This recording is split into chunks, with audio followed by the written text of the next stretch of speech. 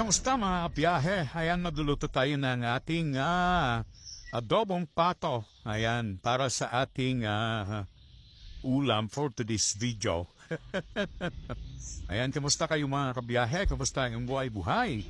Shout out po sa inyo lahat. Ah, shout out, shout out sa han- hanggang sa bang bansa, buong mundo. Ayan, maraming maraming salamat po. Kunti man ang ating views, pero ayan, magpapatuloy pa rin ako. Dahil alam ko po na mayroon pang patutuhan ang aking ginagawa. ayan, dinasyan na natin ang ating bawang luya, sibuyas sa ating uh, kawali mga kabiyahe at nilagay na natin ang ating uh, hinugasang pato. O, di ba? Hinugasang pato, ayan. Lagay na natin lahat para masarap ang ating uh, adobong pato biyahing Rockal Di ba? Uh, di ba mga kabiyahe? Isa natin ito para kahit pa paano, eh, matanggal po ang ating uh, matanggal po ang lansa. Hindi yung lansa ko. Lansa na pato. Ayan o, di ba? Tignan nyo naman po ang lutuan namin. Sa may kahoy. Ang lasa nito ay smoky smoky adobo. Yay, broccoli sound! o, di ba? Meron po tayong chimney sa loob ng bahay. O, di ba, mga kabiyahe? Ayan, uh, natuloy na natin. Maraming maraming salamat po sa inyo lahat. Sa inyong laging panunood kay Biyahing Bronco Sam. Ayan, uh, hindi man sikat at uh, hindi man manlaki ang sahod, magpapatuloy pa rin. Uh, di ba? Sa mga pangarap sa buhay. O, di ba? Malay mo, malay natin. Pagkakatrending tayo ulit. Di ba, mga kabiyahe? laban lang, laban, laban, laban, bawi, bawi, bawi, laban, laban, laban. o, di ba?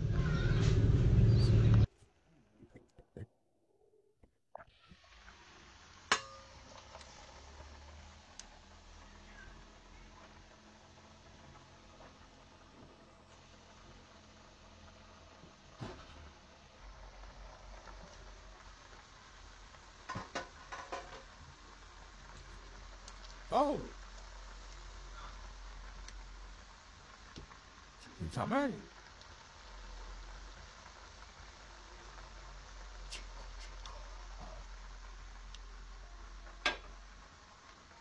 Papa Paul, shout out kay Jetro Season from Saudi Arabia. Ayan guys, timpla natin ng konting bitchin. Ayan kung wala kayong bitchin guys, magic sarap para lalong sumarap ang inyong adobo. O, di ba mga kabiyahe? Ganun lang yun mga kabiyahe. Yan, haluhaluin natin para pantay-pantay ang pagkakaluto ng ating uh, adobo pato ni Biyahing Bronco Sam. di ba tama si Biyahing Bronco Sam? Ay simpleng luto pero napakasarap mga kabiyahe. Di ba? Ayan, uh, papakuluan natin to ng papakuluan. Lagyan natin to ng uh, Sprite or Mountain Dew para ang uh, lasa ng ating uh, adobo ay medyo manamis-namis. Ayan, matabis. Ayan, di ba masarap mga kabiyahe pag ganyan. Ayan. Ayan, kumukulo na ulit mga kabiyahe. Ayan lang natin yan. Ayan, halu-halian natin para sa ganun eh antay ang ating uh, lasa ng ating uh, adobong pato ni Biyaheng Bronco Sound. Ganun lang nga kabiyahe. Kasimple magluto ng adobo ni Biyaheng Bronco Sound.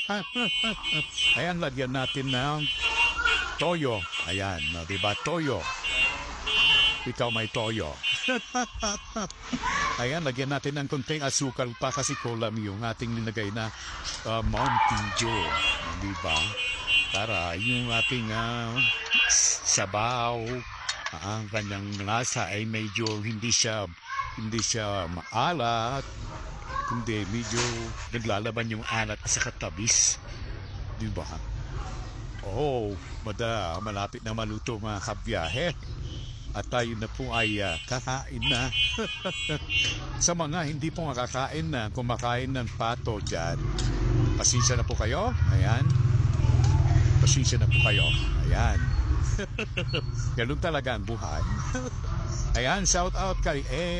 Ayan, kay S dito. Happy birthday kay S. Ayan, sa akin si, ano, si Kabungaw na nagyaya sa atin dito sa kanilang bahay para magluto ng adobong pato ni Biyaheng Juan Cruzao. o di ba mga kabiyahe? Luto na ang ating ah, adobong pato ni Biyaheng Juan di ba mga kabiyahe? Maluluto na to mga kabiyahe. Tara na po. Salamat po sa inyo panonood. God bless you all.